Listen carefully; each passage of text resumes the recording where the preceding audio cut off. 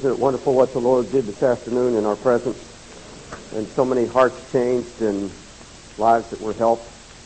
And we don't, we don't believe the Lord ever gets finished. He just begins His work. We won't get finished until we get there, will it? Until we get on the other side. Go to John, please. John 11. John 11. Talk to you tonight about the resurrection realm. We're going to try to move into a new realm tonight, a resurrection realm. Just open it to the 11th chapter and leave it open down your table before you while we pray. John 11, the resurrection realm. I know so little about this, I'm almost hesitant to preach it. But I've seen it. I've had a glimpse of it. I, I know Brother Warnock has seen it because he's written on it. He's talked much about the resurrection realm and some of you others that have come through great revivals, you know God has spoken this in the past, and I believe He's going to speak it again. I may see it a little different than some of those in past years saw it, but I've caught a glimpse of it, and I want you to catch a glimpse of it. I told Brother Warnock and some of my associates before preaching I felt so inadequate tonight to approach this subject, but I'm going to ask the Lord to give us an anointing and somehow you'll see it, at least see it, get a glimpse. The Lord take your eyes and open them and give you just a peek into this realm He's trying to move us into. You know that repentance is to lead to life, don't you? And when there's true repentance, true life comes. But that life is in a new realm. It's a resurrection realm. Heavenly Father, we thank you for the depth anointing of the worship here tonight. And we pray now that you would speak your holy word. We acknowledge your Holy Spirit. We ask you to come in a very special way that you would open our eyes, give us hearing ears, take the fat away from our hearts, strip us, O Lord, that we may see and hear from the Holy Spirit. Lord, without the unction, without the anointing, we are dead. We are lifeless. There's no hope. Oh God, come now and put fire in my lips, cleanse them, and let us hear from heaven. Lord, I, I believe you gave me this on my knees. I believe this is something you want us to share. We've never shared this before, and help us tonight to see this realm that you're trying to move us into. You're trying to get us out of this realm of darkness into this glorious realm of resurrection. Lord, just make us hungry for it. Help us to see this new land. Don't let us be like a Moses who stands in, on the mount and can't move in. Lord, move us into this realm. In Jesus' name I pray. Amen. John 11, Go to 23, please. John 11, 23. We're going to just take a look at this. In fact, uh, uh, go back all the way to uh, verse 14. Verse 14, John 11. This is speaking about the death of Lazarus. Then Jesus therefore said to them plainly, speaking to his disciples, Lazarus is dead, and I'm glad for your sakes that I was not there, so that you may believe, but let us go to him. Thomas, therefore, who's called Didymus, said to his fellow disciples, Let us also go that we may die with him. So when Jesus came, he found that he had already been in the tomb four days. Now Bethany was near Jerusalem, about two miles off. And many of the Jews had come to Martha and Mary to console them concerning their brother. Martha, therefore, when she heard that Jesus was coming, went to meet him, but Mary still sat in the house. Martha, therefore, said to Jesus, Lord, if you had been here, my brother would not have died. Of course, you know that's true, don't you? Jesus, if he'd been there, he would not have died in, in what they believed was the realm of death. Even now, I know that whatever you ask of God, God will give him. Jesus said to her, your brother shall rise again. Martha said to him, I know that he'll rise again in the resurrection on the last day. Jesus said to her, what? I am the resurrection and the life. A very familiar scripture. He who believes in me shall live even if he dies. Everyone who lives and believes in me shall never die. Do you believe this? She said to him, Yes, Lord, I believe that you are the Christ, the Son of God, even he who comes into the world. Of course, she didn't answer his question. And when she had said this, look what she did. What'd she do? She went away and called Mary, her sister, saying secretly, the teacher is here, he's calling for you. She said, I don't see this, maybe you do. She went away. This, she rose quickly was coming to him. That's as far as I want to go on that.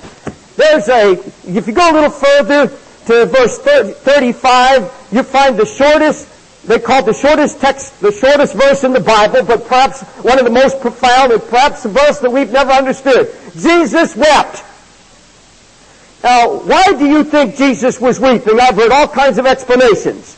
Certainly he's not weeping over Lazarus' friend because he knows shortly he's going to embrace him. You know that, don't you? He's going to embrace him. He knew that he'd come walking out of that tomb. In fact, he had said in 1111, speaking to the disciples, our friend Lazarus has fallen asleep. I'm going to wake him out of his sleep. Now, how does Jesus weep over a man who's sleeping? He's in the arms of the Father. He's just sleeping. So how would Jesus be weeping over a man sleeping in the arms of his heavenly Father? Jesus was not weeping for the man in the tomb because the dead man was not in the tomb. The dead man was outside the tomb. He was weeping for all the dead people who surrounded him. Lazarus is going to come walking out of that tomb. They were going to get a person. Oh, by the way, I've, I've heard people say, oh, I wish I could be there. I would have rejoiced. No, you wouldn't do at all. You'd be running down the hill just like everybody else did, scared to death.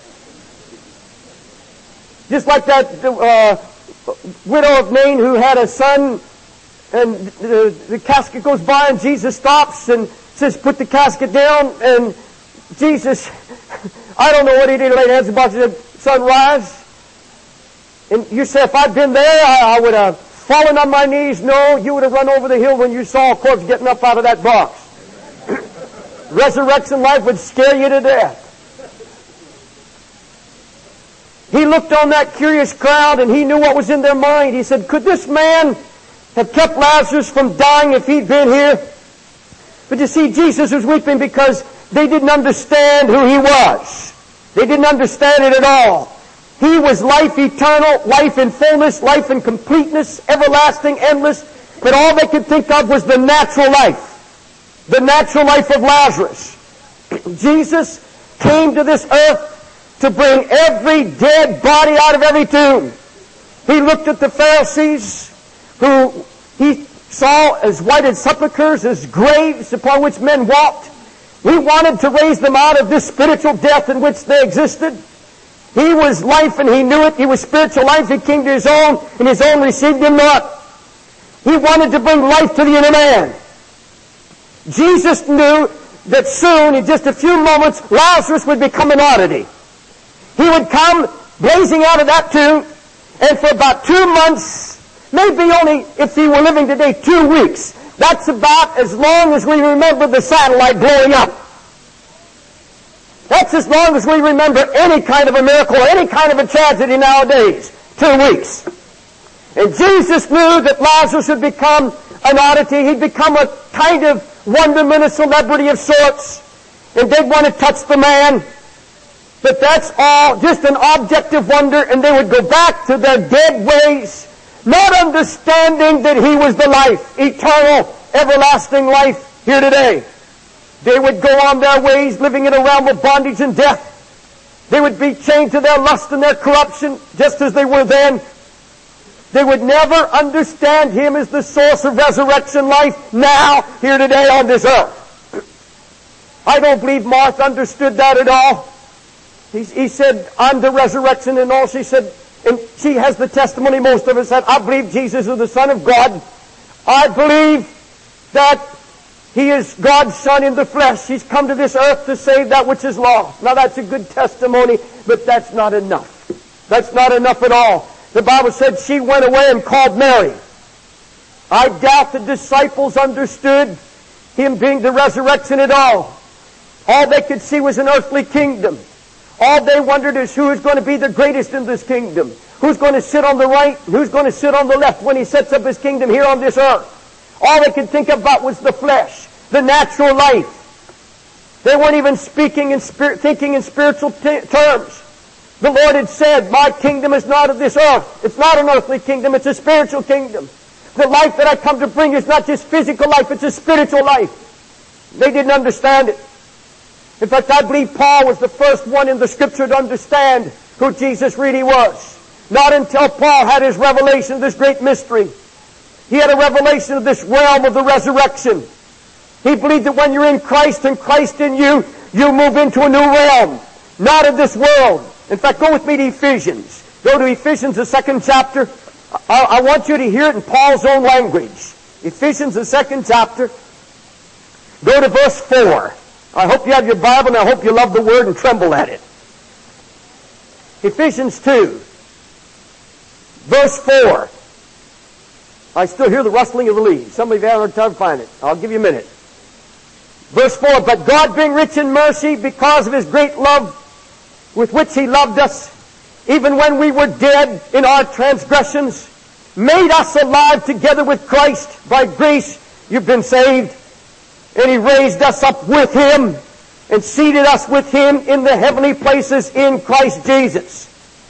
Now this is what resurrection life meant to Paul. It was the Holy Spirit coming upon a believer to awaken and arouse him out of his death of sin. This was a spiritual arousement, a spiritual rising from the death of corrupt flesh and the corruption that held them down to this world. Now, Paul did speak of a day of redemption for this physical body, a day in which this mortal would put on immortality, that there would be a new body. This physical body would pass away, there'd be a new immortal body in his own image.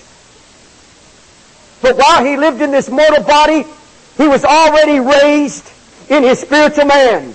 He was already in heavenly places with Christ Jesus. In other words, he's saying, by the Spirit of God, I'm no longer part of this world system. I'm not a part of the death that touches every area of it. I'm not a part of the sin and the corruption of this world anymore. I was once dead. I was a partaker of the lust of this world, and I was blinded by sin. But now I've been raised above it all. I don't live in that dark realm anymore at all. I've moved out of that realm of flesh. Christ himself has become my life. He's everything to me. Everything in this world now is dung. It's nothing but rubbish. I've passed out of it. Now the Greek word here for being made alive is synegrio. And that means to rouse, to awaken to a place of steadfastness. To awaken to a place of steadfastness. And this is exactly what the Holy Spirit, I believe, is doing in this gathering. He's doing it all over the world. He's doing it in China. We leave two weeks from tonight for Poland and Hungary. 30 days behind the Iron Curtain. And I expect the Holy Ghost to be preparing a people right now, and there's going to be an arousement. There's going to be the sound of a trumpet up and down through Poland, in Warsaw and Gdansk, in these cities that we're in, and in Budapest. We've opened a, a center for drug addicts and alcoholics in Budapest, and already God is moving there. What the communists couldn't do with their millions of dollars, now they're crying for help because they know only God can do it. Even the communists know that. They won't admit it, but if they didn't admit it, why are they calling for us? But he's waking up a holy people who are going to become steadfast in a new realm, a new realm of resurrection.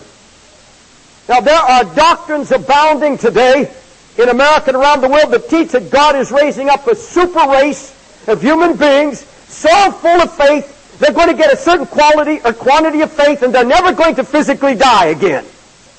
Now, one of the men who taught that just died recently. It set that whole movement into fear and terror. They thought if anybody lived, he'd live forever. But you see, this, this new kingdom dominion class of people, they're, they're not going to physically die. There's going to be a super faith race that's going to come forth and be manifested on the face of this earth, and they will not physically die. And they say the only reason we do not see that yet, it's not been manifest in power, and we have not had the quality or quantity of faith to make that happen. But God somehow is going to make that happen. Paul wanted nothing to do with that doctrine. Nothing to do with that doctrine whatsoever. I'll give it to you from the scripture. For to me, to live is Christ, and to die is gain. To physically die is gain. But I'm hard pressed from both directions, having the desire to depart and be with Christ. And that's what this generation doesn't have. This desire to depart and be with Jesus. For that is very much better, yet to remain on in the flesh is more necessary for your sake. I heard a tape of a, a rather well-known young Pentecostal evangelist, and he was preaching at a youth convention, and he said, when Jesus comes, he's going to have to drag me out of here. I've got too much to do for him. He'll have to drag me away. I don't want to go now. And I'm hearing that everywhere I go in the country. And I hear that on radio. I hear it everywhere I go now. I don't want Jesus to come. I want to win the world first. Well, this burden of the Lord is on every one of our hearts if we walk in holiness. But Paul said, I have a desire to depart and be with Christ. If you're in love with Jesus Christ, you want to be with the object of your love. And this flesh means nothing to you. Listen to what Paul said. More than that, I count all things to be lost in view of the surpassing value of knowing Christ Jesus my Lord, for whom I've suffered the loss of all things, and I count them but rubbish or dung in order that I may win Christ. He said, listen to this. Therefore, we do not lose heart, but though our outer man is decaying, our outer man is what? Our outer man is decaying. Paul's outer man was decaying. Paul said, I, I'll tell you what, if Paul said uh, physical exercise doesn't do much profit to the body, how in the world would he preach that today when we're in such a physical craze in America? Everybody's into building up the body. Boy, Paul would thunder that today, wouldn't he? He'd look at all these jogging Christians. Well, go ahead and jog, but he, he'd go tell you there's not much to that. This thing going to decay anyhow. This house is going to down. You can run, you can jog, you It's decaying, folks. Some of us are decaying a little faster than the others. Therefore, do not lose heart, but though our outer man is decaying, yet our inner man is being renewed day by day. For momentary light affliction is producing for us an eternal weight of glory far beyond all comparison. While we look not at the things which are seen, but the things which are not seen. For the things which are seen are temporal, but the things which are not seen are the eternal. I believe there's an eternal kingdom, an invisible kingdom, but it's manifested right now in a visible way through a holy body of people, of corporate people walking in holiness and manifested in their body. There is a manifestation in this physical body. But that manifestation is holiness and righteousness before the King. There is a manifestation in this physical body, but that manifestation We'll get into it a little more as we go. Now, I don't have my eyes on an earthly kingdom. Oh my, you're going to hear that because I'm telling you now, this is where all of the charismatic movements are going. This is where the health and wealth and prosperity and faith gospels are going. They're going into a physical kingdom, a dominion message. They're going to put the kingdom of the, they're going to put the coming Lord Jesus off into some future. And my Bible said he's a wicked servant who says, my Lord delays his coming. It's a wicked servant who says, My Lord delays his coming. And we're going to put the coming of the Lord way out here, and everybody going to relax. Nobody going to have to be vigilant. You know, the early day disciples, they looked for him daily. They said, Even so, come quickly, Lord Jesus. There was an expectancy in this early church that we're missing. That love of his appearing. He's coming for those who love his appearing. And I love his appearing. I, I want to win souls. I want to be a part of what he's doing these last days. But I can say with Paul, I've got a desire to depart and be with my Lord. Oh, hallelujah. I'm not looking for an American imperial president who's going to bring the whole world under subjection to some kind of spiritual congress that we set up here in America. We've got, we've got this super sane idea in America, and we think the kingdom of God's going to come to America.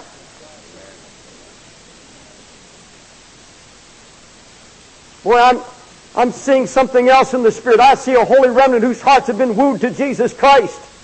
They're going to go deeper and further into the heart of Christ. And He's going to become their joy. He's going to become their life. They're going to have an eternal state of mind, a New Jerusalem state of mind. They're totally free from all that's of this world. There's a heavenly minded people arising. But how is this going to happen? How do we move into this spiritual kingdom, this realm of resurrection?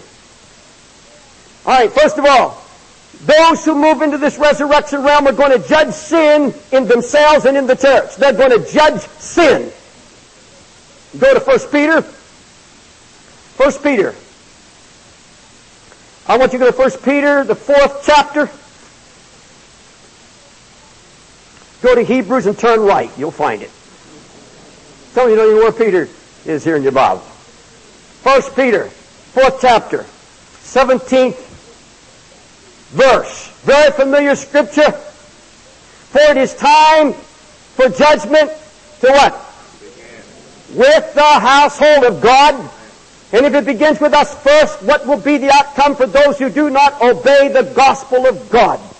Judgment begins where? It begins in the house of God. But who is the judge? Who's the judge? Now listen close to this now. Jesus Christ is not judge while we are sojourning here on earth. If you go back to John, go back to John 12, I'll prove that to you. John, the 12th chapter. You've got to see this before we go any further in the scripture. John 12th chapter. And go to the 47th verse. I'm going to read verse 47 and 48. And if anyone hears my sayings and does not keep them, what's he say? I do not judge him, for I did not come to what? This is Jesus speaking. I did not come to judge the world, but to save the world. He who rejects me does not, re- does not, re- not receive my sayings, has one who judges him. The word that I spoke is what will judge him at the last day. At the last day, the word of God will judge us. But who is the judge right now in the house of God? We have the idea God's going to just suddenly come down and judge every one of us. No, you are the judge. I am the judge. We have been called to judge our sin. You and I are called to judge sin in the church. There is almost no Holy Ghost discipline in the church anymore. Almost none. And the reason there isn't, there are not enough holy men in the pulpit that have a touch of God and will do it. They say, I can't do it because I'm not where I should be. And I don't want to be a phony.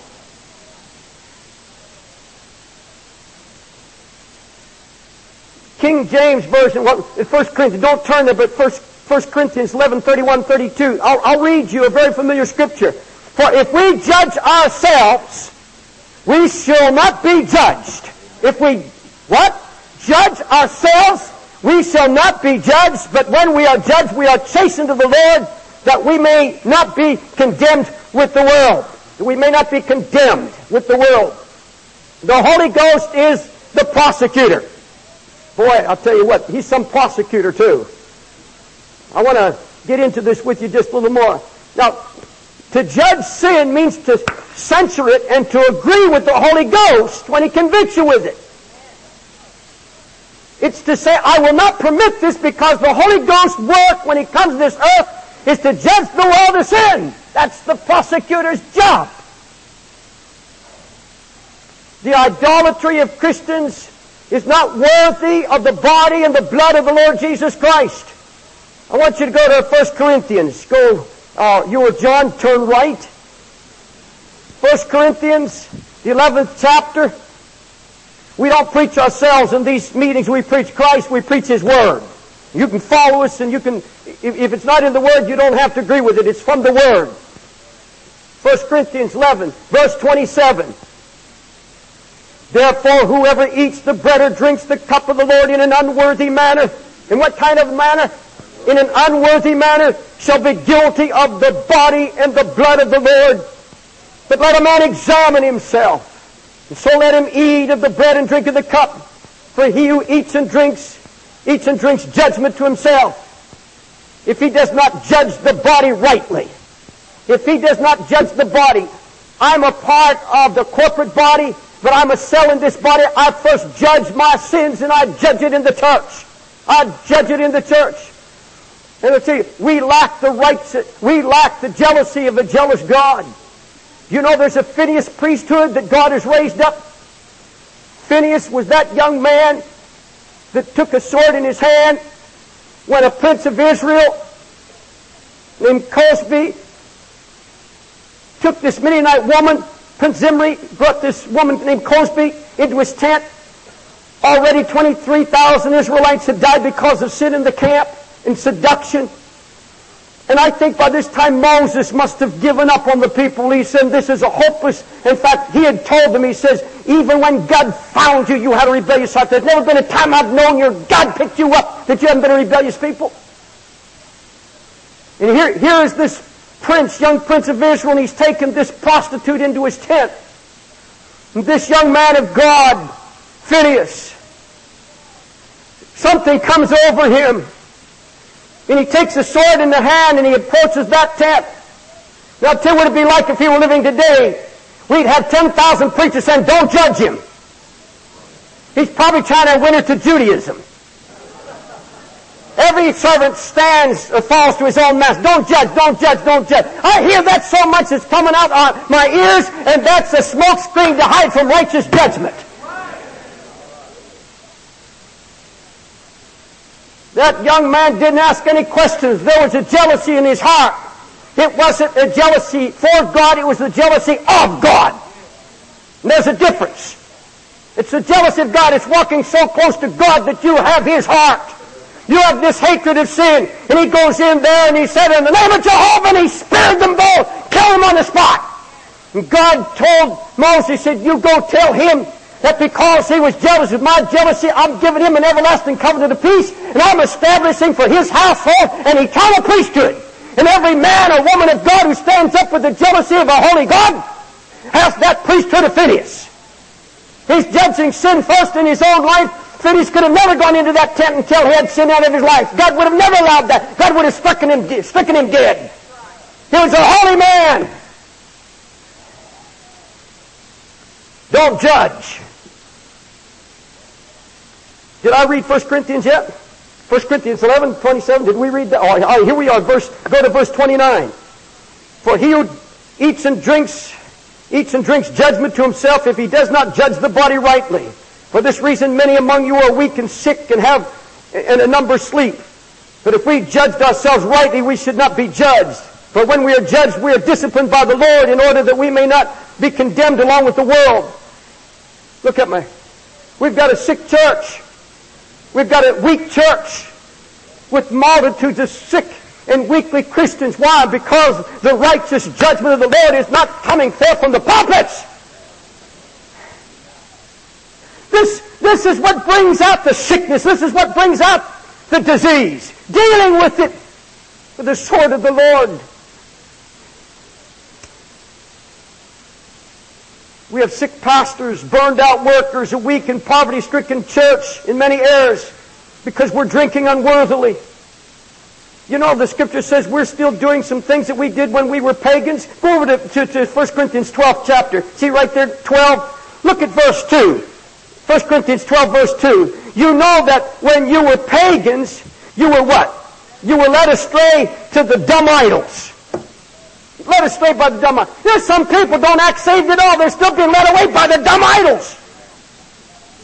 They go home from a Holy Ghost meeting right to a dumb idol sitting right in the living room.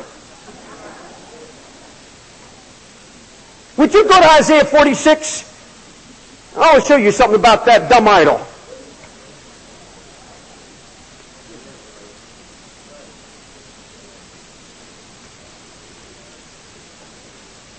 That's right. I'm calling your television set a dumb idol.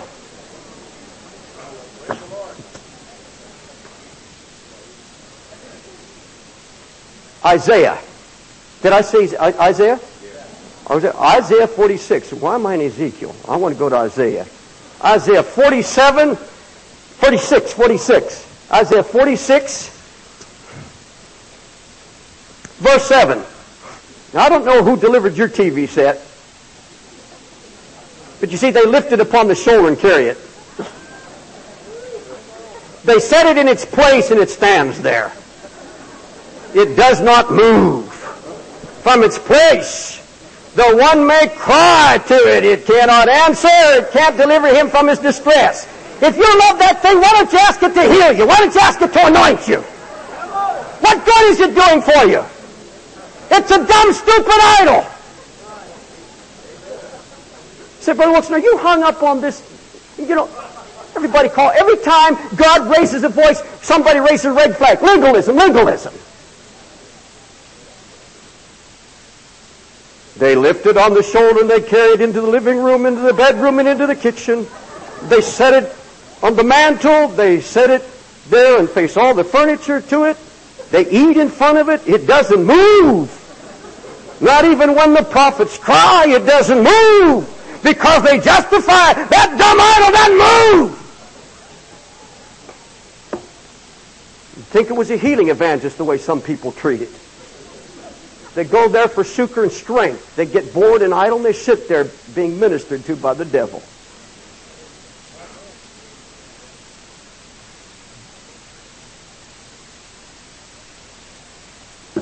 Doesn't, doesn't matter to half of you here. You go, you say you're just going to go out and do it anyhow. Doesn't matter. I'm telling you, it's impossible to have the Holy Ghost abiding in you without having His conviction. Did you hear me? It's impossible to be filled with the Holy Ghost without having His convictions. If we refuse to judge the sin that the Spirit's convicting, we grieve Him. And then in turn we become calloused in our hearts. And our churches today are being filled with Christians and ministers, ministers calloused by sin. They're no longer filled with pangs of conviction. They sin without regrets. They're being excluded from the life of Christ. They pretend love for Christ, but they have this greedy lust within them. Would you go back to Ephesians uh, 4, to, to the right again? Ephesians, the fourth chapter. I'm just going to keep you in the Word here. Ephesians, the fourth chapter, the hammer. Lord, keep the hammer on us. You know, the Bible said the righteous love reproof. If you don't love reproof, you're not righteous then, evidently. I didn't say that, did I? I guess I did, but that's what it means. Ephesians 4:18 being darkened in their understanding, excluded from the life of God because of the ignorance that is in them, because of the hardness of their heart, and they have become callous, having given themselves over to sensuality, for the practice of every kind of impurity with greediness. But you did not learn Christ in this way. He's speaking about people who've learned Christ the wrong way. You didn't learn Christ that way. They've been cut off from the life of God. Would you turn to go further right to Hebrews? Timothy, Titus, then Hebrews. Hebrews 3. How many believe that there are hardened criminals in the church? Raise your hand. You believe there are hardened How many of there are hardened criminals in the pulpit? Now, that's a pretty strong statement, but I'm back it up. I'll back it up. And I'm not being facetious. Hebrews 3, 12. This is serious business as far as I'm concerned. Because he's speaking to who? Take care who? Take care, brethren, lest there should be in any of you a what? Brother, take care lest there should be in any of you an evil, unbelieving heart and falling away from the living God. It's awesome. But encourage one another day after day as long as it's still today, lest any of you be hardened by the deceitfulness of sin. For we have become partakers of Christ if, if we hold fast the beginning of our assurance firm unto the end. While it is said today, if you will hear his voice, do not harden your heart as when they provoked me. But look at verse 12 again. Take care, brethren, lest there should be in any of you an evil, unbelieving heart and falling away from the living God. How can that happen to a man and woman of God? How can that happen? That there could be hardened criminals becoming hardened in their hearts because the Holy Ghost has been dealing with them time and time again, and they will not judge their sin. They will not say enough, and they become deceived by it. And the more they're deceived by it, then layer upon layer upon layer. And I'll tell you what I'm prophesying here now, and I've never prophesied it from a pulpit before, but I'm saying it now. And the Lord put this in my heart about three months ago. We're soon going to have ministers being exposed for having AIDS because of their dealings with prostitutes. Mark my words. Hear it. God will not let it be hidden. Men of hardened hearts who take off and disappear for a week at a time. They don't tell anybody where they're going. They go to New Orleans. They go to San Francisco. They go to Denver. They go to the mountains like Vail and Aspen, and they visit prostitutes. They go to London. They go to uh, Africa. They go anywhere on the face of the earth, and their little trips, and they visit their prostitutes. Hardened by the deceitfulness of sin. There are preachers in America today who are living in absolute flaunted adultery and fornication, homosexuality, who are standing before people and preaching a gospel that sounds good, but it's a lifeless gospel. It's a realm of darkness and death. And it touches, everything that it touches produces death. I began to judge sin in my life with a vengeance when I recognized that it was the devil behind it. I saw the devil trying to destroy me, my life, my home, and his ministry. I want to tell you, sir, and listen close, that woman that's called you away from your home and your wife, this secret affair that some have, and this is going out by tape, it's going to touch a lot of men who hear it. It's going to touch men that are hearing this word while I speak right now are living in adultery. And he thinks that that little sweetheart of his is the answer to all of his problems because she tells him how great he is. He says, my wife doesn't understand me anymore. I heard a preacher say that. Said, God's been, I've been growing in the Lord. God's been opening my mind. I'm seeing great things. My wife is just into drapes and materialism. She doesn't understand me at all. God gave me a woman that understands me. She prays for me. I heard a man said, when we go out together, we get in the car, and the Holy Ghost comes down, we talk in tongues, we do a Bible study.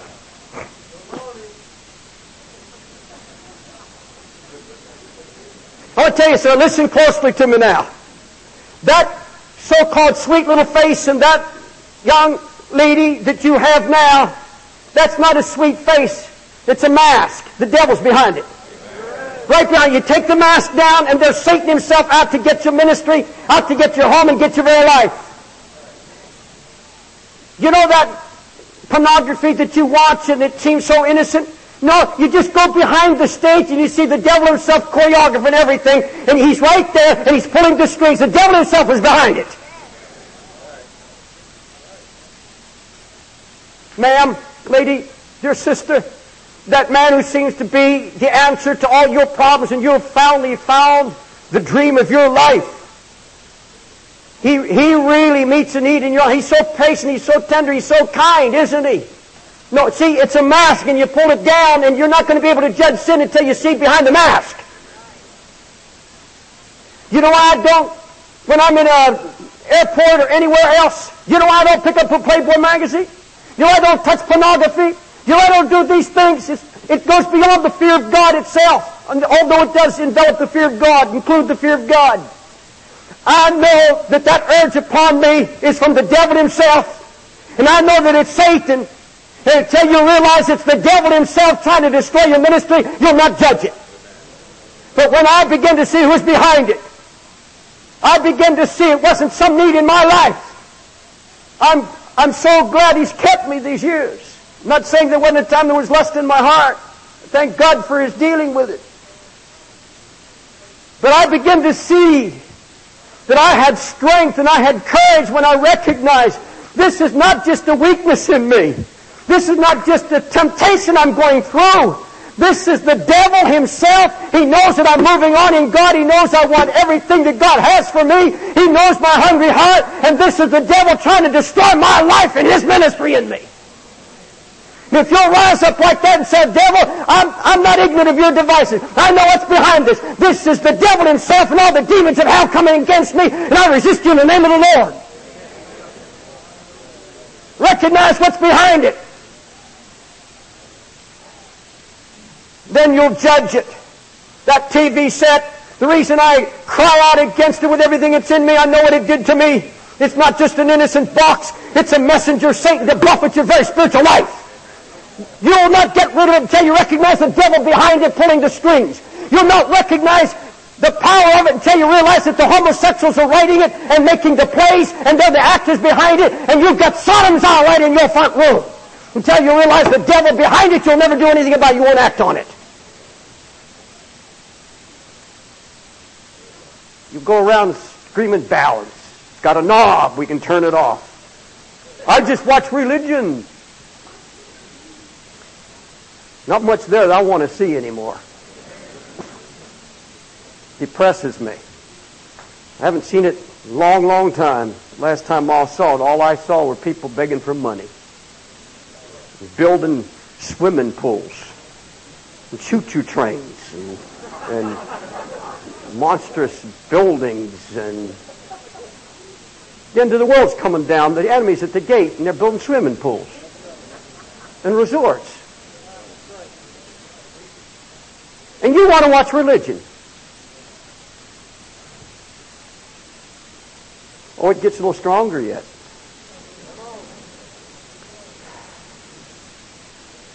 Those, secondly, here's, here's my second thought for you. Those who are going to come into this resurrection realm are going to come through refining fires. Oh boy, some of you there, aren't you? I see heads nodding everywhere. You've been in the fire. God chose you for the fire. That's a high calling. If you're in the fire, oh, thank God, He's got something for you. Let's go to Malachi, third chapter. Oh, God's going to do something here in just a moment with the power of His Word. Oh, I tremble at this Word, and yet I rejoice in it. Malachi, the third chapter. You know where that's at, the last book in the Old Testament. Find Matthew and go left. Malachi 3. Verse 1. Behold, I'm going to send my messenger, and he will clear the way before me. And the Lord whom you seek, how, how quick is he going to come into his house? Suddenly he's going to come to his temple, and the messenger of the covenant, in whom you delight, behold, he is coming, says the Lord of hosts. But who can endure the day of his coming? Who can stand when he appears? How many are going to be able to sit in front of their idols when the trumpet's blowing? How many are going to be sitting there when he appears with the refiner's fire? For he is like a refiner's fire and like fuller's soap, and he will sit as a smelter and purifier of silver, and he will purify the sons of Levi, that's the ministry, and refine them like gold and silver, so that they may re- that they may present to the Lord offerings in righteousness. Now I tell you now, I believe this prophecy is being fulfilled before our very eyes, right now all through the earth, in Poland and in China, all over this great earth. This prophecy is being fulfilled right now. I don't know how your fire is or what kind of fire it is, but I want to talk about what Jesus said. If you go with me to Luke now. Go to Luke, the 12th chapter, and I want to show you something profound from the lips of Jesus. And when I saw this the other day, it really blessed my heart. And I've been asking God to, to deal with me and with this marvelous scripture and this challenge from the lips of our and the heart of our blessed Lord. Luke, the 12th chapter, verse 49. Luke 12, 49. Listen to it. Jesus speaking. I have come to cast fire upon the earth, and how I wish it were already kindled. Jesus said, I wish it were all going up in smoke right now. You, you understand that in that chapter, Jesus had been talking about the rich trying to become richer? He was talking to people who were speaking about tearing down their little barns and building bigger barns. Does that sound familiar? Even from ministries today? Bigger barns? He was speaking to those who were laying up treasures for themselves but were not rich toward God. He was talking to a people who become anxious and troubled about material things. And Jesus said, I've come to put a flame to it all. Does this mean that Jesus is saying that he's going to literally burn down the physical empires that, that we're building? Is he prophesying the end of all these superstructures and bankrupting of all the hoarded treasures of men? Does that mean if you've been hoarding up a savings account while the poor are dying, that, that God's just going to try to, to burn it all? Is he going to cast all this down? Well, the scripture does say that this earth is reserved for fire and one day it's all going to burn. If you don't believe that, you don't believe anything in this book. He said the very elements are going to melt with the fervent heat. And I've heard that spiritualized and spiritualized. No, he said there's a new heaven, new earth that's coming. This thing's going up in smoke. But the fire Jesus is speaking here right now is a fire in the hearts of His elect. He's thinking of his disciples. He's saying this to men he knew were going to face hardships. He knew the privations of the demands that were going to be made of them and walk with, by walking with him all the way. They were going to have a cross. There's going to be self-denial. He knew what was in Peter. He knew there was denial in his heart. He knew that all his disciples were going to forsake him and flee. He knew the suffering and rejection that was coming. These people were going to be rejected and they were going to be suffering. And he, he was saying, oh, that the fire had already been kindled. And I believe what Jesus is saying, oh, that all of the world has already been burned out of my disciples, all of the lust and all the things of this world, the allurements, I wish they were burned out. I wish the fire had already burned it all out. All that the consuming works had been finished, that the bonds of this world that corrupted and held them down, I wish that were all over.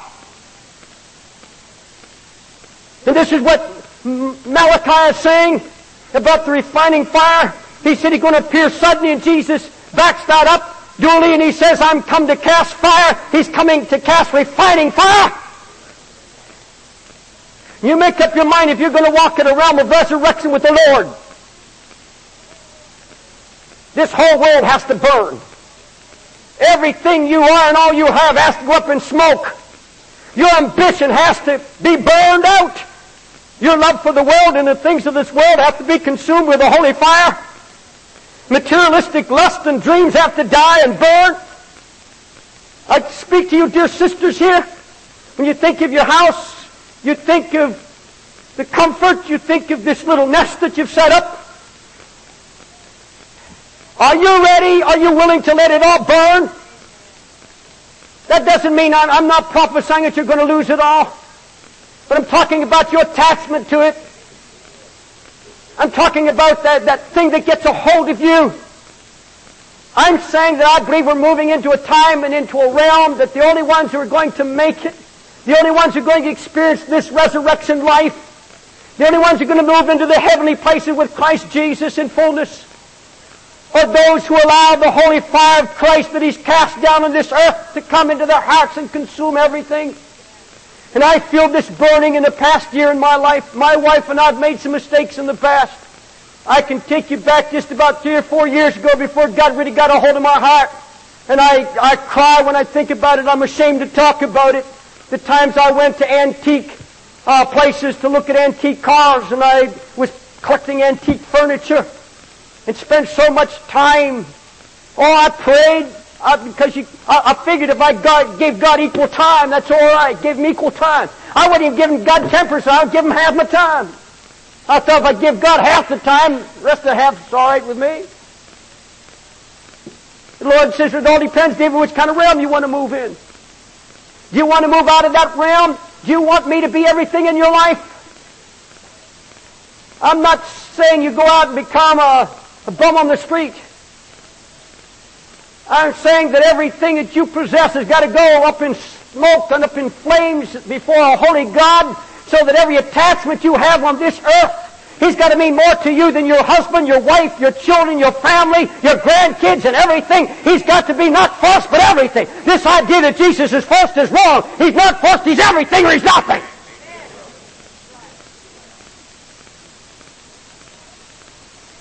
You know, Paul said, Oh, that I may know him, the power of his resurrection, the fellowship of his suffering. You know where the power of the resurrection is? The power of the resurrection is in that everything else burns. There's power in that.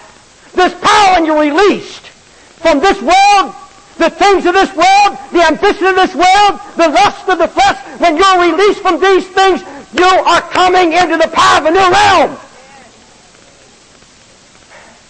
These things that hold us down, unwilling to suffer, unwilling to conform with this death. Paul looks at all, and he said, it's all dung, it's all garbage, it's all rubbish. You look about you in God's house today at the ambition and the politicking and the building of empires. You know, it's not these outward symbols and it's not just the expensive buildings and these expansive dreams of men. That's not what grieves the Lord the most. It's what they represent. They represent a realm that God can't work in. It represents some men who've never been touched by the fire that is cast on this earth. It represents a realm of flesh. And these are just outward symbols that reflect a heart that's never been touched by the holy fire of Jesus Christ as Lord.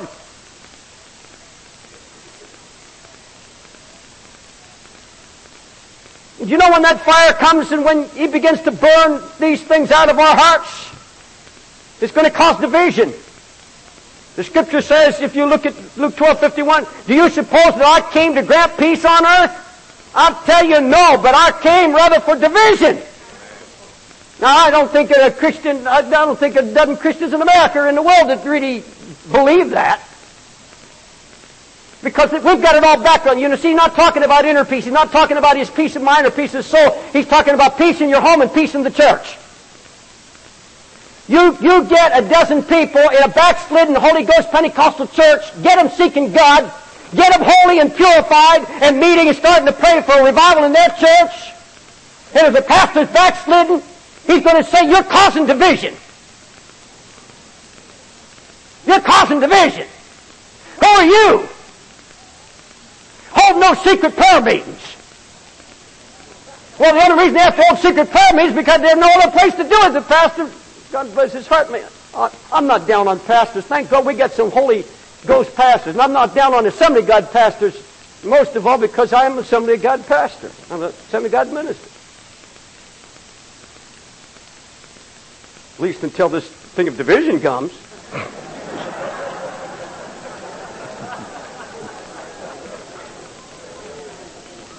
Isn't it something? You go along preaching to thousands of people, the altar's filled, and everybody accepts you, but then you start seeking God and cleaning up your life and start preaching holiness and repentance and going back and preach what they preach to the Azusa Street, and you're causing division. I get letters from preachers all over America saying, you're causing gloom and doom and division in the house of God among the body of Christ. For what? For preaching holiness. Go ahead, saint. Go ahead and get a hold of God. Go ahead and kick that idol out of your house. That thing that they brought in on the shoulder, take it out on the shoulder. Go ahead and get it out. And everybody going to say, you're a divider. Step out of the crowd. And they say, you're causing division. And this is going to come to homes. You show me a husband that starts seeking the face of God with everything that's in him, pouring out his heart to God and turning to holiness and righteousness. And if his wife doesn't go along with him, she said, honey, you're messing up our home. There's going to be a division there. The Bible said that that's exactly what's going to happen when the axe is laid to the root. There are going to be divisions in homes. There's a lot of division coming. From now on, Luke 12, 52, from now on, households will be divided. Households will be divided. That doesn't mean that you expect that. Eh, it, oh, I know some people use that excuse. They want out of their marriage. Well, bless God, I'll get holy fire for a little while. And maybe I'll get some division in my home and she'll run out. Some people think like that.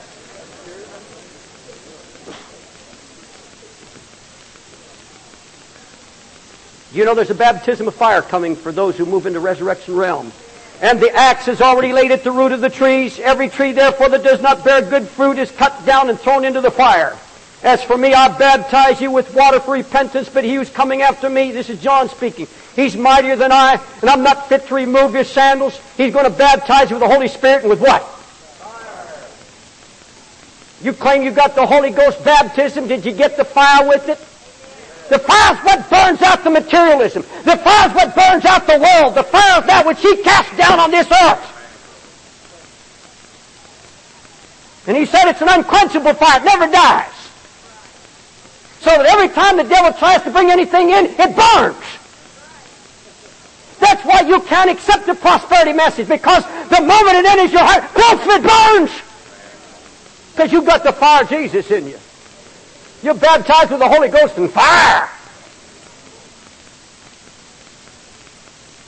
I would tell you, if you're going to walk with Jesus and keep, you hold Him as the head, you'll never get into deception.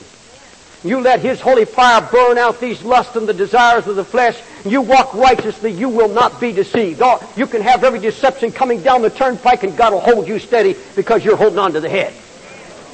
Glory to Jesus. You have a holy fire raging in you? Oh, this past year I've had that fire burning in me. God, God's saying to my wife and I, cut back, cut back, cut back. Enough, enough, enough. And the more we cut back, the more we seem to have now than I had way back then. Spending less and enjoying it more. You heard my prophecy last night. Some said, did you, you mean, Brother David, the next three months going to happen? No. The first nation that goes down, that defaults on its international loans, within three months of that first bankruptcy, every major ministry goes down except those who are preaching in righteousness, walking holy before God, and preaching repentance. And even they are going to suffer. And that means after that goes down, you've got about two weeks before Mexico goes down to get your house in order. And I sound to some people like a madman. To some people, I sound like a man from another generation. And all I'm trying to do is warn and wake up the house of God. We're not ready. And he said, I'm going to throw a fire down. I'm casting a fire. And I'll tell you what, that's what this is, what's happening in this repentance gathering right now. He's putting a fire in our hearts. He said, I want to burn out everything that's of the world. I want to burn out your ambitions till there's nothing left but Jesus. I want to get your eyes, dear lady, off of every material thing that you have. I want you can have it, enjoy it, but get your eyes off of it. I thank God what God's doing for my dear wife. We have somebody comes in once a week and does a little cleaning for her. It happened when she was sick, and so she still comes. And every once in a while, I hope she's not here. Her, she breaks things occasionally.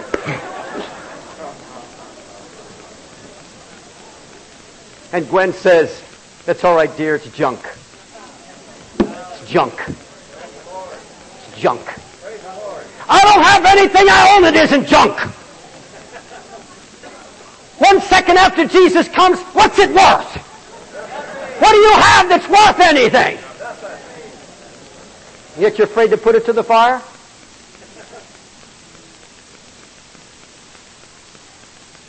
Jesus meant it when he said sell everything. And what he's saying, you sell everything it doesn't have to do with providing for your own household. Because if a man neglects his own house, he's worse than an infidel, and you have to balance that with it. All right? Uh, let's go a little deeper here. Once you've judged sin, and the house, this house has been purged by a holy fire, then the Holy Ghost is going to breathe on you resurrection life. And I believe Ezekiel 37 is a prophecy for 1986 until Jesus comes. Ezekiel 37 has come to life to me. Go to Ezekiel 37. You know dry bones. We got songs about it. Dry bones. Hear the word of the Lord. Ezekiel 37. Who, do you think this Valley of Dry Bones is? Church. Mm-mm-mm. 37 verse 1. Ezekiel. The hand of the Lord was upon me, and he brought me out of, in the Spirit, by the Spirit of the Lord, and set me down in the middle. First Assembly of God Church of Dallas. First Baptist of Dallas. No, Second Baptist of Dallas. Wherever. And I'm not being facetious. He set me down in a harlot system full of bones. And he caused me to pass among them round about, and behold, they were very many on the surface of the valley, and lo, they were very dry. Now that sounds to me more like a church. But I want to ask, how did they die? Do you ever ask your customer, how did these men, how did these people die? All right, go to Ezekiel 6. And if you can keep your television after this, then you are you don't even believe God's word at all. They died in front of their idols. I'm going to prove it to you. I'm going to prove it to you. Right here. Ezekiel 6. You're not going to be laughing in a minute. You're going to have a red face. Just a minute.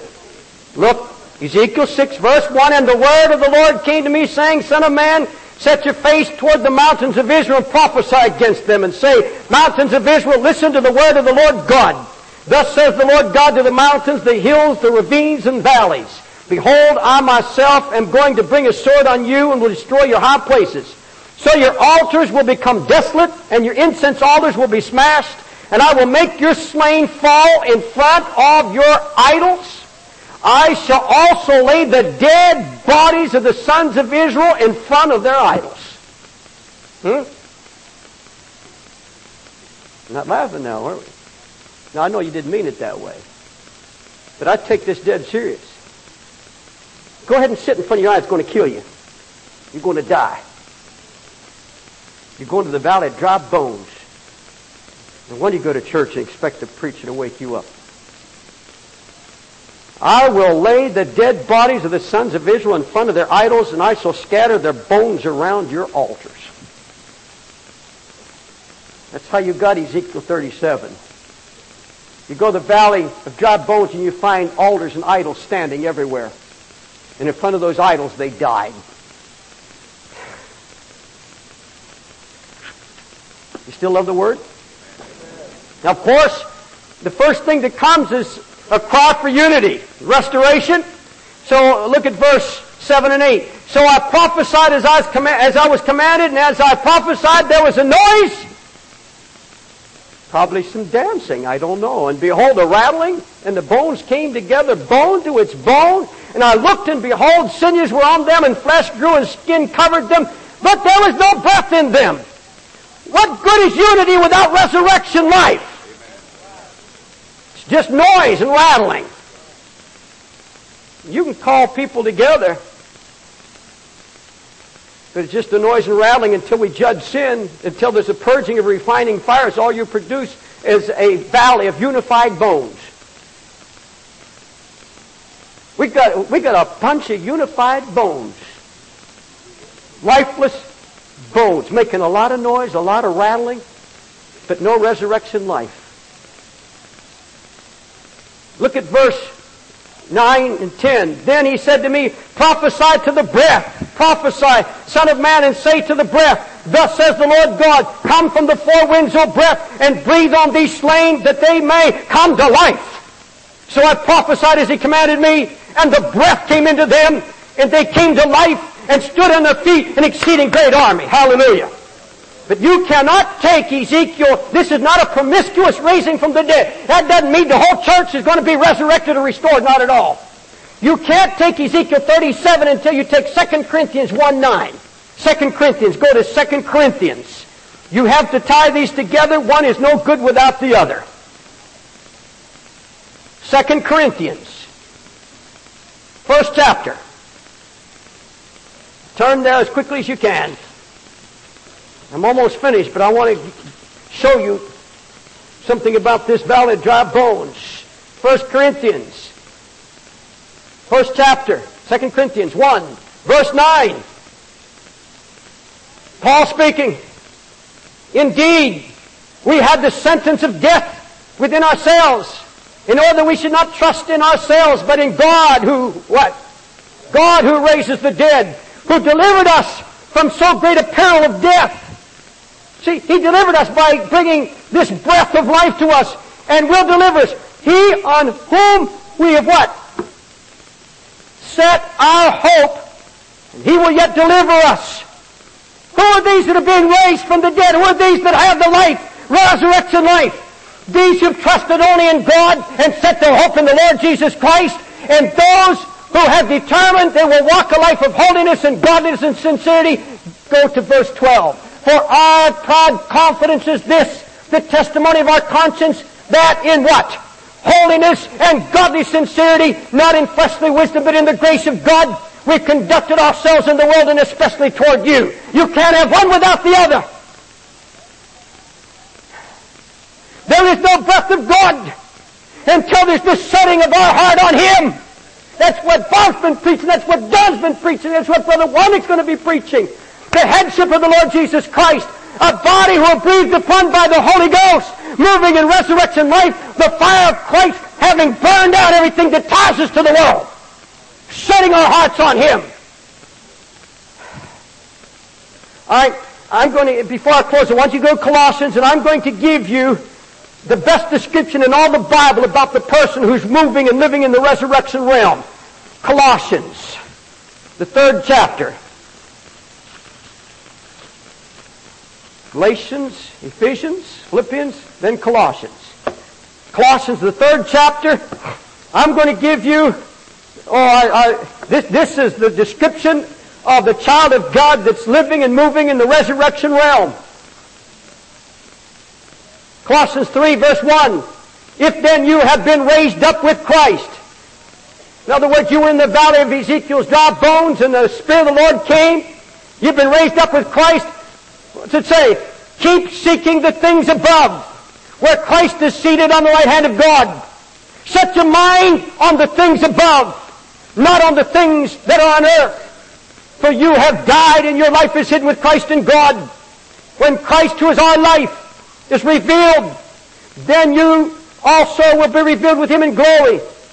Therefore consider the members of your earthly body as dead.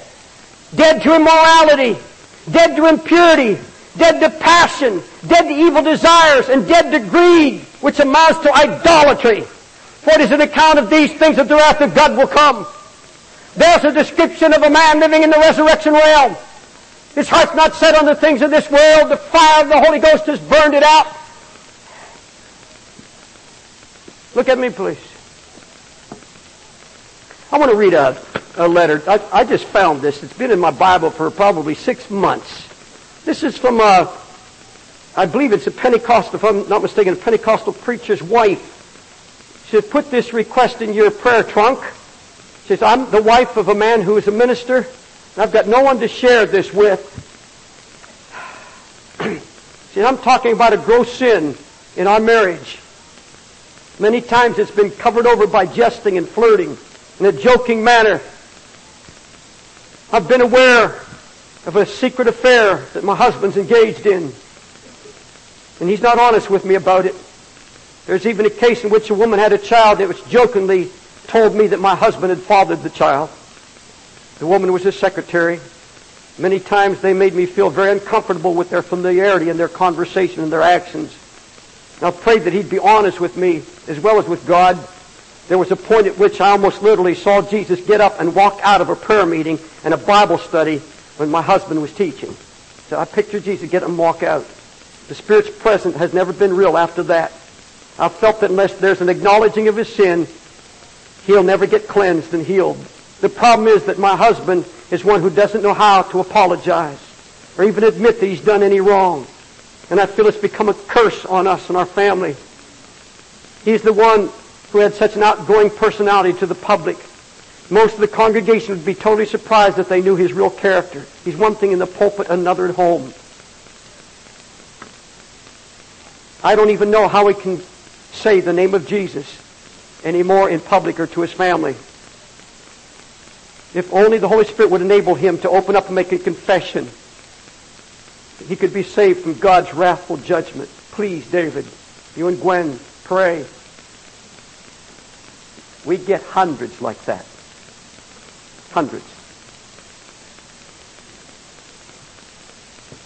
Absolutely shocking. You know, even in this meeting, I've watched young married couples that are here, and some of our other staff have noticed it. The, the, the, lack of patience some of you men have for your wives. The, you don't have an understanding heart. We've had young couples actually quarreling in the halls, quarreling right out in public in a repentance gathering.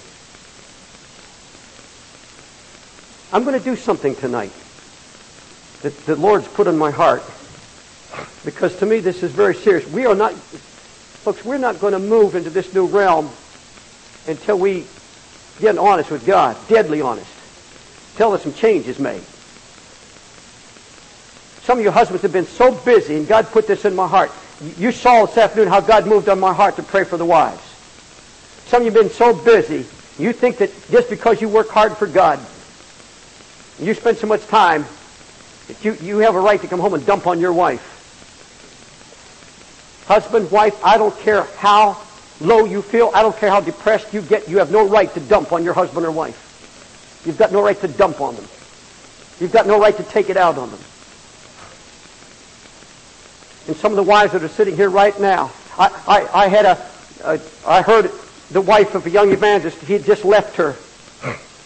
About three or four months later, she said, uh, where's this effect? And she told a friend of ours, said, you know, because he has a healing ministry, has discernment, they call it. And he stands up and calls people out.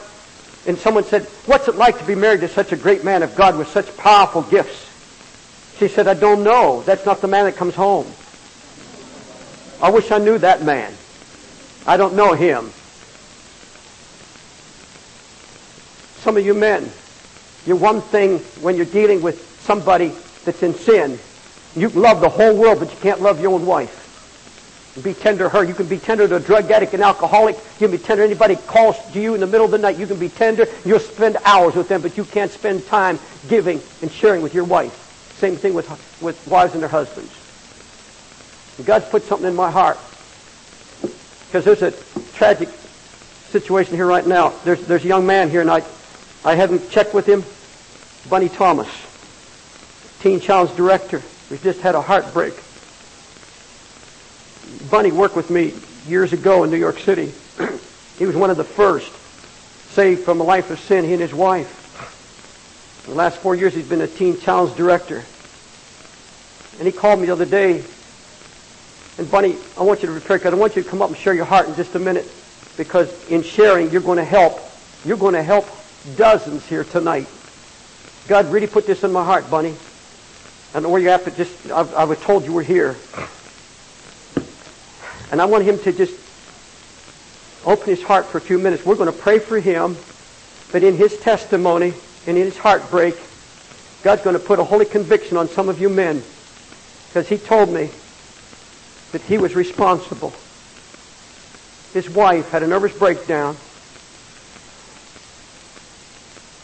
and she's back on the streets. And I'm going to ask his congregation after he's finished to join in prayer that God will bring her back. Bunny, where are you? Would you come on up here a minute, Bunny? I, I'm sorry I didn't have time to consult with, but to me this is life and death, and we, we just move as the Spirit leads us here. Man, I haven't seen you in how long, Bunny? God bless your heart. 1977. 77. Do you mind sharing?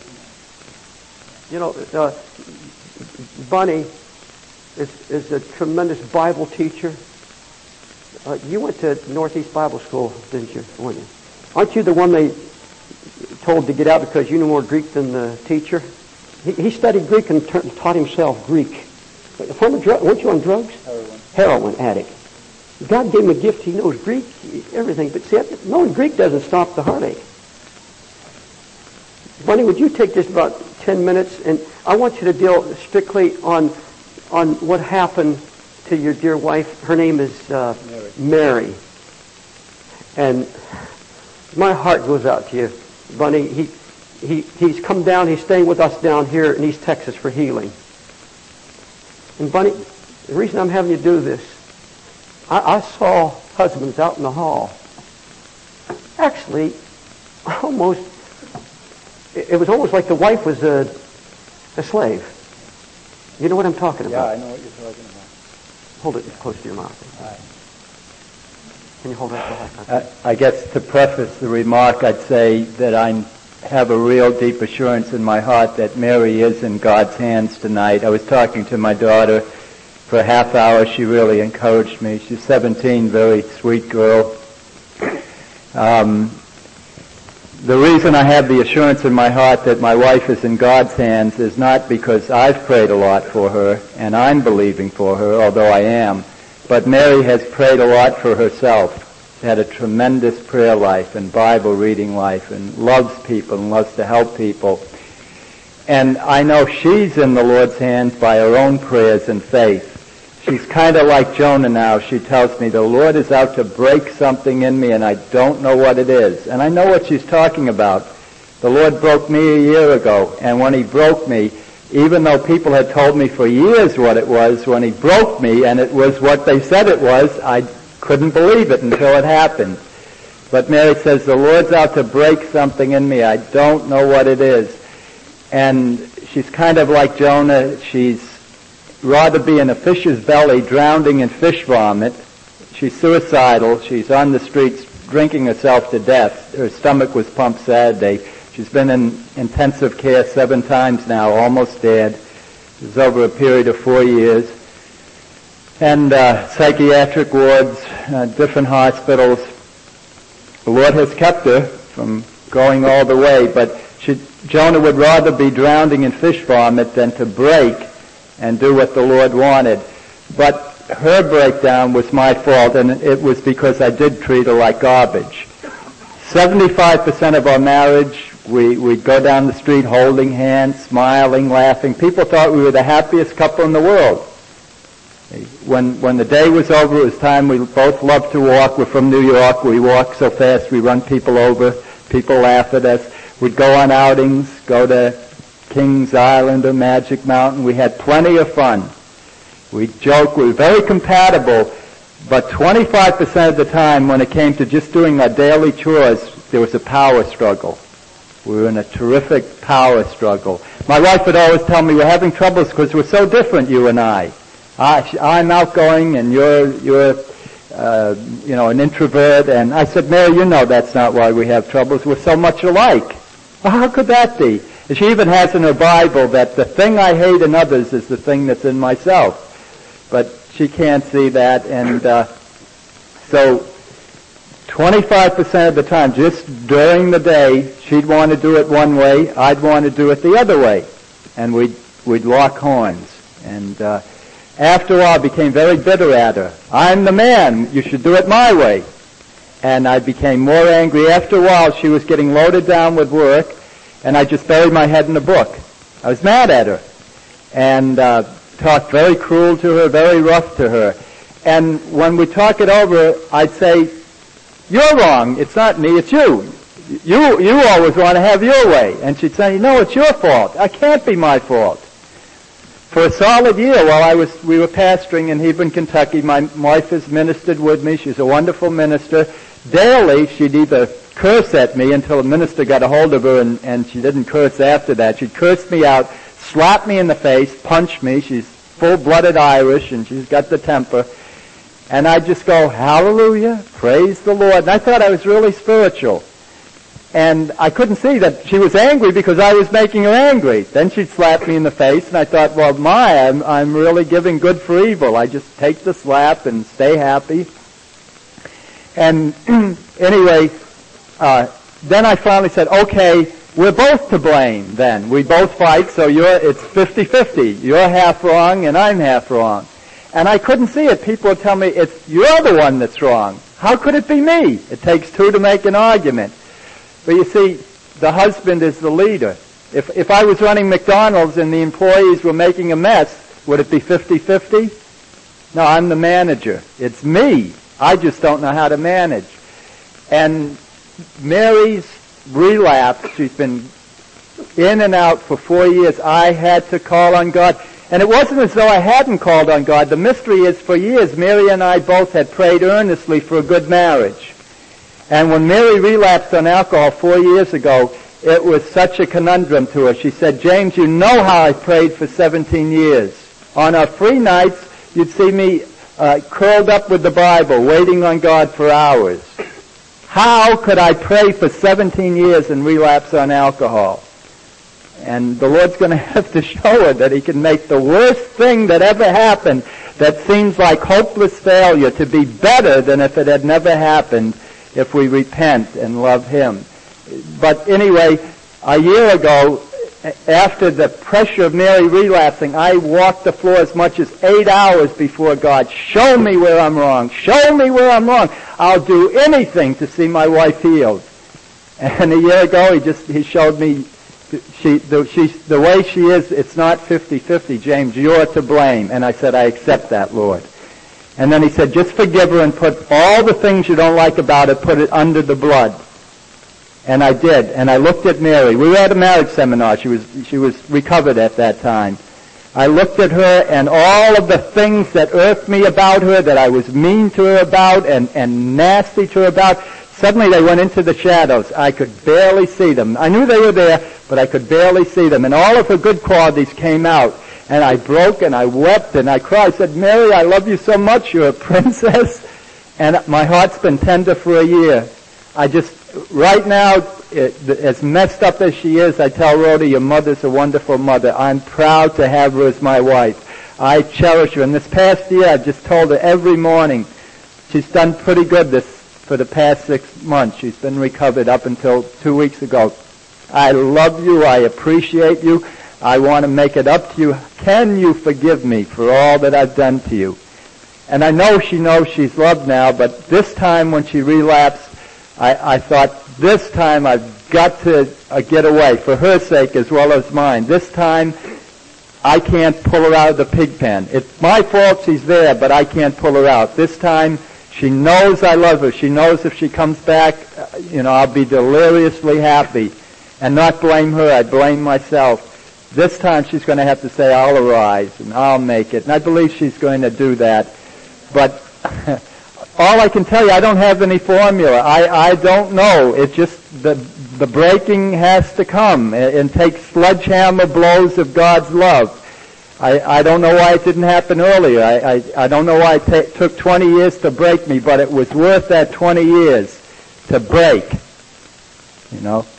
And, and to see tonight, it's my fault, not hers. There's been a spirit of pride, too, hasn't there, in your heart? In mine? Is that what he I'm showed you? sure there's been all kinds of bad Yeah, but I, I want to tell you something.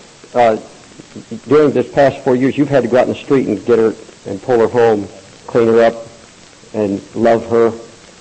How many of you could do that, sir?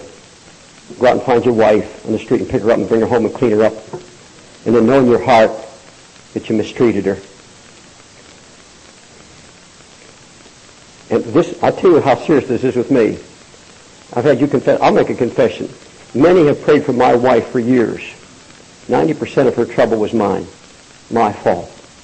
I know it. I know it was my fault.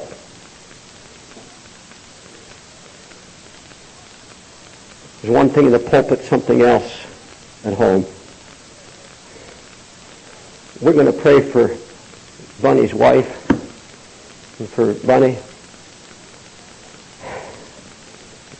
She's a precious woman. but you know, you can live for years and harbor something in your heart and find it'll come out. That's what's happened with Mary. That's why this thing is so important here tonight. That's why you wives need to get every bitterness out of your heart against your husband. Every husband needs to get any root of bitterness out against your wife. Until you become a tender-hearted man. Get rid of that macho big shot thing in you. Bless God, I'm the man of the house. You'll do what I say. And drag her around by the roots of her hair, so to speak. God's out to destroy that. That goes to the fire. That goes up in smoke. And Lord's wanting to heal. And some of you, honestly, you're going to lose it. Down along the line somewhere, you're going to lose it. Just the same way. We're having, this is the thing that grieves my heart, we are having in Teen Challenge more than I've ever seen it. Uh, Brother Reynolds is here, who's the direct national direct, director of Teen Challenge, a real man of God, and I'm sure it grieves his heart. I guess the last few years there's more reports of those who are falling. And you get down to it and you finally see that lack of concern, that, that meanness, that ugliness that's not been put to the fire. I don't want to be a man in the pulpit that's a man of God and then be a man of the flesh at home. And I'll tell you something. It, it took me 25 years to hear something from my wife about two years ago at a conference. We got our staff together. And it's a shame that it took 25 years. But I was dealing with sin. And I was speaking to our staff. And Gwen got up with tears in her eyes. And it's probably the greatest thing that anybody in the world's ever said about me. And I said humbly before God, the best I know how.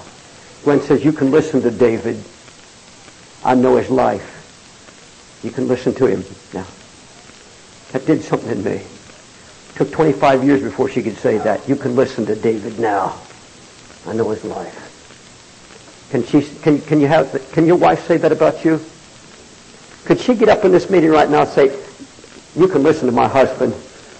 I trust him anywhere. He's a man of God. He's tender toward me. He's kind to me. He understands my needs." Bob, I don't know why I'm going to this down, Brother Warner, but I, the Lord just seems to have turned this because I felt from the very beginning there was need for healing in this conference. healing. And I don't know about you, but I want to move in a resurrection realm. I want to, I want to move in a realm that's free. That I can look God in the eye. I can look every man in the eye. I can look the holiest prophet on the face of the earth, look in the eye and say, you're not going to find sin there, sir. It's under the blood and I've laid it down. I want to be, I don't ever again want to have to look a holy man in the eye and be afraid. No fear. To be able to look the whole world in the eye and say, I'm free. Hallelujah. I don't know how to take this into an altar service. First of all, we're going to pray for Mary. Do you believe with me that God can, even while we're praying, uh, she's in California, correct? In California. Salinas, is it? Salinas, California? She's not on the street tonight, surely, is she?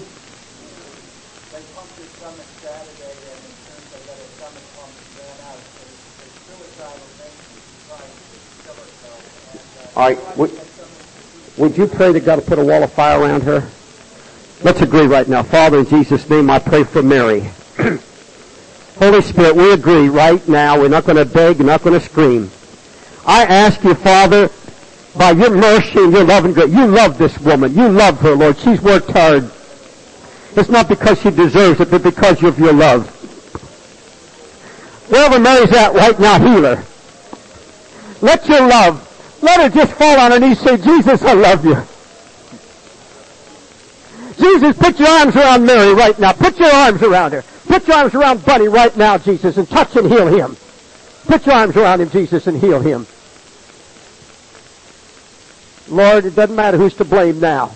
We're looking to you for answers. We're looking to you for deliverance. Hallelujah. I wonder if there are any men here that need to stand and uh, husbands and wives maybe that need to walk down here and say, Brother Wilkerson, we need a healing of our relationship. I I didn't plan to do that, but I in fact I, that just came out of me right now. I I feel it's the Holy Spirit, and you say, Brother Wilkerson, would you lay hands on us and pray for a healing of our relationship? I don't want you to leave this place with something not right. I don't want you to leave here carrying something. Brother, sister, come on. You you may be here without your husband or without